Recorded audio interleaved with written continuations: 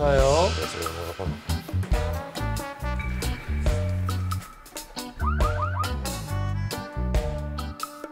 자, 이름 임강하 53세입니다. 음, 60 이하는 다 반말이에요. 네. 네, 하시고. 자, 뭐 하는데? 저 건설 건설 쪽에. 건설 음. 쪽 일하고. 어, 무슨 일로 왔어요? 12년을 만난 여자친구가 있었어요. 갑자기 한 6개월이 연락이 안 되더니 아이를 낳았다면서 아이를 낳았다면서 제가 연락을 했더니 스토커 취급을 합니다. 무슨 얘기지? 어. 그 아이가 다른 남자애. 다른 남자애. 아. 12년을 만났는데 네. 헤어진 거 그러면 얼마 헤어진 적이 없습니다. 없는데 다른 남자의 애를 낳았다고? 네. 아니, 근데 잠깐만. 12년을 만난 여자친구, 그럼 아직 결혼 안 했단 얘기야? 겨- 저는 돌싱입니다. 돌싱. 아이는 제 아이는 한, 한 명. 한 명. 아 들. 아들 한 명 있고. 근데 여자친구는 언제 만났어? 여자친구는 12년 전. 12년 전에 2011년도. 몇 살인데 여자친구는? 여자친구 그때 나이가 29, 제가 41. 근데 계속 헤어진 적이 없는데 갑자기 연락이 안 되더니 6개월 있다 연락 와서 애 낳았다? 연락하지 앞으로 마 연락하지 이렇게, 마, 이렇게? 된 거?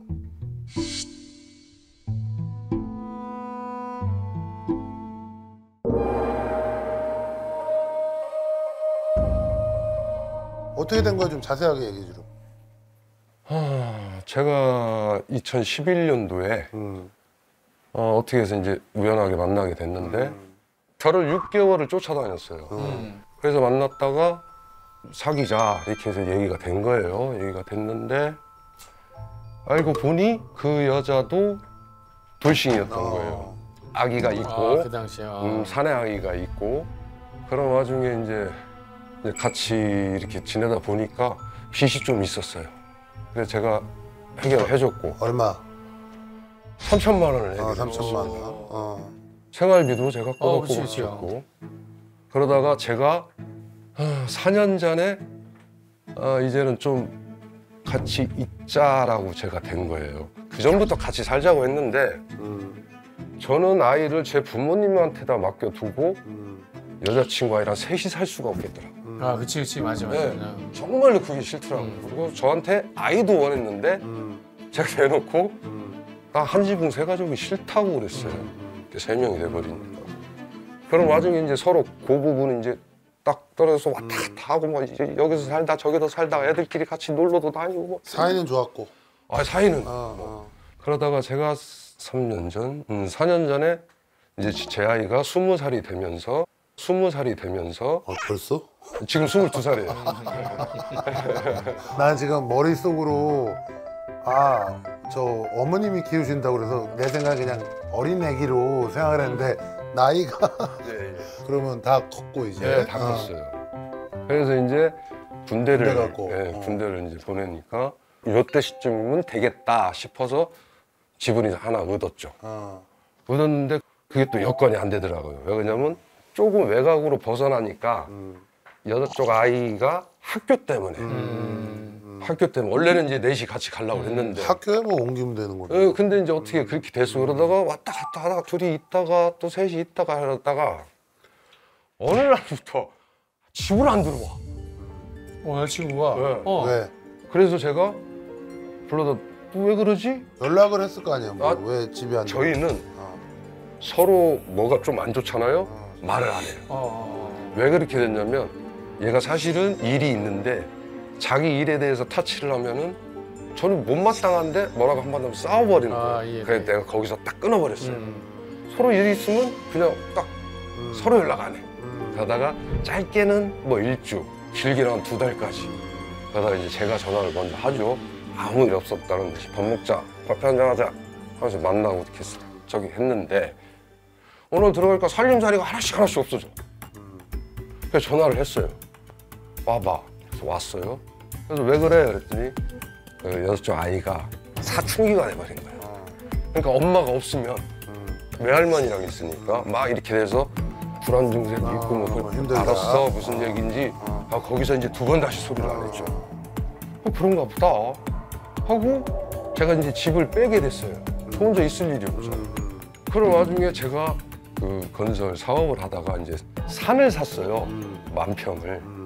그래서 산을 깎고 제가 이제 분할을 해서 막 분양하는 거. 네, 분양을 하려고 막 하, 그러다가 잘못된 거예요.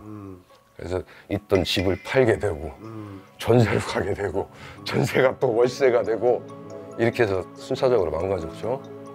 그러다가 이제 야 이거 봐라 이거 봐라 하다 서로 연락을 안 하다가 마지막으로 연락한 게 제가 작년 11월 11월에 연락을 했어요. 잠깐 봐. 가서 커피를 한 잔 마시면서 내가 지금 네 손을 이렇게 잡고 있는데 내가 이렇게 놓으면 우리는 헤어지는 거냐 그런 생각 일치 하지 말라는 거야 왜 그러냐고 하는 일이나 열심히 해 그래서 알았어 돌아서면서 저는 웃으면서 응. 고마우니까 그렇지, 그렇지. 어. 고맙잖아요 왜 그치. 그러냐면 그 사업이 망가지면서 제가.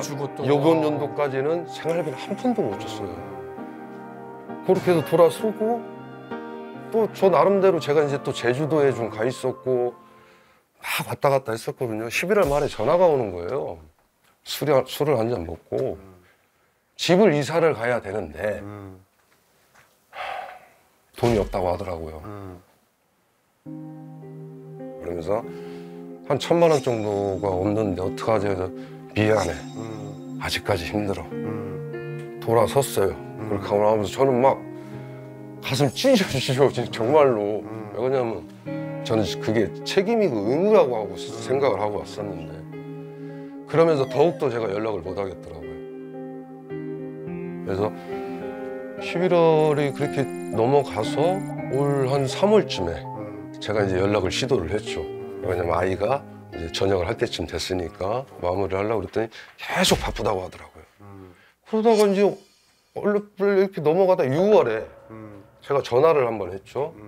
잠깐 봐. 뭐가 그렇게 바빠? 그랬더니 7월 말까지는 죽었다 깨나도 볼 수가 없다는 거예요. 도저히 이렇게는 안 되겠구나. 그래서 9월에 제가 잠깐 보자. 그랬더니 난데없이 오빠라는 거예요. 나한테. 저희가 호칭이 만났을 때 그 여자는 저한테 당신, 저는 여보. 갑자기 오빠라고 하는 거. 어? 오빠? 그랬더니 나 이제 오빠가 잊었어. 나 잊고 사니까 잘 살아 그러더라고. 어. 화가 나서 내가 연락이 너무 늦어서 그랬나? 화가 나서 야이 하면서 욕을 연마다고 막 끊어버렸어요. 가만히 생각하니까 이제 딱 그때서야 이제 감이 오는 거죠. 내가 생각할 땐 네가 남자가 생긴 것 같은데 생겼다고도 해도 좋으니 내가 어쨌든 간에 바지끄레기라도 한번 잡아봐야 되는 거 아니냐 만나자 그랬더니 날짜를 딱 특정을 하더라고요 생일 전날에 만나자는 거예요 할 말이 있으니까 지금 만나 끊고 가면서 분명 남자가 있다고 할 건데 내가 어떻게 나가야 되지 음, 와 이런 상상을 하면서 생각하고면서 갔어요. 가지, 네. 가지. 딱 도착을 했어요. 도착을 해서 저는 이제 나 사실 뭐 남자친구가 있어 이럴 줄 알았더니 천만에이가 천만에이가 나 사실 아기를 낳았어. 음, 아기를 낳았어. 음. 거기서 그냥 이렇게 쭉 깔아진 것 같아요. 아니 근데 몸이 좀 뭐 차이가 있을 텐데 그럼 아이를 낳았다. 아이를 7월 말에 7월에 낳은 거예요. 아 7월에 낳았다고. 그래서 저한테 7월 말까지는 죽었다 아니, 깨나도 시간이 안 된다. 아니 잠깐 아, 안본 지가 얼마나 됐지? 안 본 지는 제가 11월에 보고 어 12, 1, 2, 3, 4, 5, 6, 7, 8, 9 딱 10개월. 10개월을 안 봤죠. 딱 10개월이네. 열 달. 아 정말 아프더라고요. 정말 찢어지고 다른 거 다 필요 없이 그 생각밖에 안 나요. 그러다 한 일주일을 그렇게 서로 이제 문자로 주고 받으면서 저 울고 지도 울고 뭐 이렇게 다 했어. 그러다가 일주일 딱 지나서 제 앞으로 가서 잠깐 내려와. 또 죽었다 깨나도 안 내려오는 거죠 이제. 내려와 하면서 제가 욕도 했었고 또 달래기도 했었고 막 그런 과정에서 스토커로 신고를 해버린 거예요. 음. 저를. 했는데 옛날 같지 않아서 스토커를 일단 신고를 하면 경찰서 가서 조사를 받아야 되더라고. 어. 여자분이 일단은 그래서 가서 취하를 하냐 아니면 그냥 고소를 하냐. 근데 취하는 했어요. 일단락은 됐어요. 명절을 세고 제가 이제 업무 용구를 이제 꺼놨다가 연휴니까 꺼놨었잖아요. 튀니까 문자가 와 있던 거예요. 미안하고 뭐 이렇게 하고 주소 이전도 천천히 하고 뭐 이렇게 왔더라고요. 그래서 그러다 보니까 이제 또 서로 울다가 뭐 하다가 이제 문자가 이제 한 두 달 동안 11월 28일까지 문자가 왔다 갔다 한 거죠. 나도 뭐 아직도 사랑하니까 돌아와 줘라. 꼭 갈게 기다려라.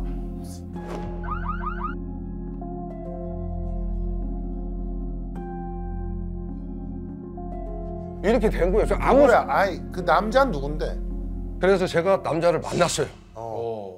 어. 어. 제가 제 저에 대한 존재를 들었습니까? 그랬더니 들었대요. 음. 그러니까 어떻게 들었냐면 이미 헤어진 남자가 길 가다 봤는데 자기 좋다면서 아. 질척거린다. 음, 음, 그러니 내가 정리를 하겠다. 그랬더니 남자가 나를 만나게 해달라. 음. 음, 이렇게 된 그- 거예요. 그쪽에서는 네. 맞지. 아. 근데 저하고 두 달 동안 문자 내용이 있잖아요. 어. 사랑해.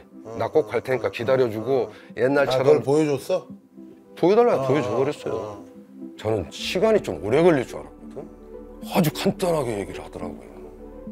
혼인신고도 안 돼. 여자 호적이 올라가 있고, 너무 늦게 오셨습니다, 사장님. 저 안 보고 헤어질 거니까 사장님 보시든지 말든지 마음대로 하세요. 아 데리고 가래. 응. 자기 애가 있는데. 그 내가 이게 뭐지? 그러니까. 어. 아주 상, 상상하고 다른 그치, 거죠. 어. 근데 그러니까 상황이 제 입장에서 볼 땐 그 여자가 이 남자랑 바람 펴서 애를 낳은 거고 그 남자는 애 낳고 같이 사는데 그 두 달 동안 저랑 만나서 연애질을 한 거예요. 음. 그런 다음에 사장님이 알아서 만나라. 해서 이제 그날 만나고 오니까 그 여자 아이한테 이제 전화가 오는 거죠. 애기 아빠랑 일을 해결하러 만나니 차를 타고 지나가다가 애기 아빠랑 둘이 있는 걸 봐도 이해해라. 그렇게 됐어요. 어. 그러더니 일주일이 딱 지났는데 4일이 지나고 5일째부터는 이제 난리가 난 거예요, 저한테. 저를 파렴치한으로 몰아가고. 왜 파렴치? 저보고 가정 파탄범이에요. 어. 그쪽에서 또 둘이 이제 뭐 얘기가 네, 됐겠지. 둘이 이제 아. 얘기가 끝난 거예요. 아. 일단은 떨어져 있으려고는 했대요. 근데 저 때문에 떨어져 있으려고 했던 게 아니라 자기 계획이었어요, 그게. 떨어져 있다 보면 내가 시간이 지나서 이렇게 되지 않겠냐라고 생각을 한 거지. 그러니까 저한테 원하는 답이 있는 거예요, 지금. 그래서 보냈어요. 두 번 다시 안 할게. 걱정하지 말고 너랑 나랑 엔딩이니까 잘 살아. 음. 하고 딱 보내주면 진짜 마음을 딱 저기를 했어요. 왜 그러냐면 애기 아빠를 만나는 그 남자를 만나고 나서 제가 아, 무지하게 죄책감이 들더라고. 요 음. 그 남자가 오히려 그래서 그 남자는 뭐 아무것도 모르는 사이잖아. 제가 무지하게 죄책감이 그치, 그치, 들더라고요. 그치. 그러면서 이제 거기서 제가 내려놨는데 가정 파탄범이라는 거. 그러니까 저는 그 여자 주변 사람들한테 어떻게 돼 있냐면 헤어진 남자친구 놈이 아이를 낳고 잘 사는 여자 그래. 그치. 신랑을 만나서 옛날 과거 얘기를 다 해버린 거다. 이렇게 돼버린 거예요. 저는 미치잖아요. 아니 그 지금 중요한 거는 그 둘이 같이 이제 살기로 한 거야? 그 둘은? 들은 바로는 지금 같이 살고 있습니다. 어 지금은. 예. 그래. 뭐 가, 이제 뭐 깨끗하게 아, 놔주고 예. 이제 어, 아주. 얘기 다 했더니 어, 나뭐 드라마 한편 강화가- 듣는 줄 알았어. 아니, 아니 훌륭한 이야기꾼이야. 강화가 아주 어. 이야기꾼이야. 야, 우리가 살면서 한 번도 빠졌어, 대답을 쏙안 하면서 쏙 빠졌어. 한쏙 사람의 빠졌어. 이야기를 끝까지 들은 건 아니, 처음이야. 이제 봐봐. 이제 이렇게 생각해 나는 인간적으로 뭐 12년을 사귀었는데 이렇게 잠깐 내가 어려워졌을 때 또 그런 틈을 타가지고 금방 또 이제 딴 사람하고 바람을 피고 애까지 낳고 또 그런 사람한테 막 파렴치한으로 몰리고 막 이러니까 너무 억울하고 화났지. 속상하고 화나는 마음은 다 알겠는데 중요한 건 이혼하고 혼자서 굉장히 외롭고 쓸쓸하고 이런 와중에 나타나서 12년을 함께 했어. 그 기간 동안 정말 아까도 내가 물어봤지만 너무 행복하고 좋았던 기억이 많잖아. 네. 자, 그렇다면 이제 지금 너무 괘씸하고 뭐 막 그냥 억울하고 속상하고 그립고 이런 여러 가지 감정이 합쳐져 있지만 마음을 가라앉히고 천천히 생각해 보면 그 미움도 미움이지만 12년 동안 그 좋았던 기억으로 이 미움을 이제 잊자고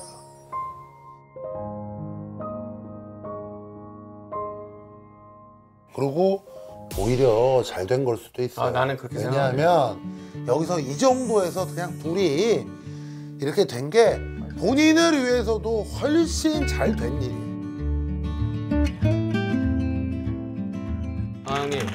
그렇죠 행복하시고 이제 깨끗하게 보내주고 오히려 행복을 빌어주는 게 어.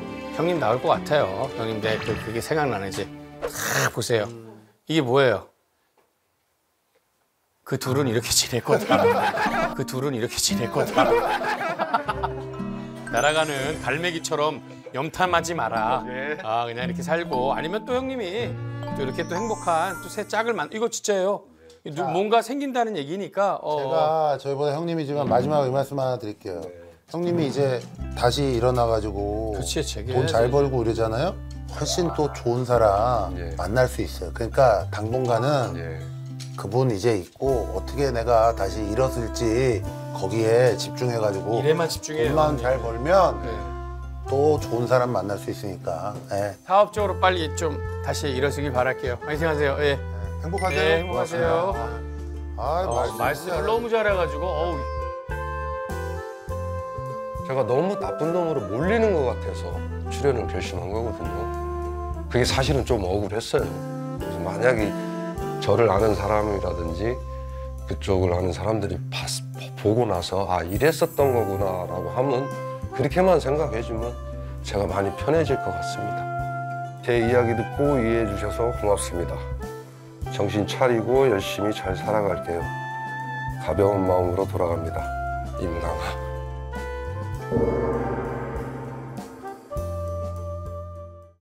궁금하면 물어보살 무엇이든 물어보살 궁금하면 물어보살 무엇이든 물어보살